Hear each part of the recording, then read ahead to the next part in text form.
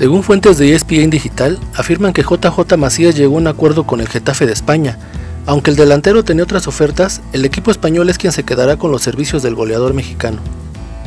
Según la fuente, ambos clubes llegaron a un acuerdo para que el futbolista salga a préstamo y viaje en los próximos días a España para los exámenes médicos y posteriormente estampar su firma. En su ya próxima aventura por España, Macías se reencontrará con un viejo conocido, Michel, quien fuera técnico de Pumas y quien debido a los 12 goles que en ese momento anotó el delantero, llamaron la atención del técnico español. JJ Macías cuenta con 21 años y se va a préstamo debido a la crisis económica mundial por la pandemia, pero depende de él mismo que el Getafe haga efectiva la opción de compra. En caso de que José Juan Macías sea llamado por Jaime Lozano para jugar los Juegos Olímpicos, en el tricolor confían que el jugador obtenga los permisos para estar en Tokio 2020.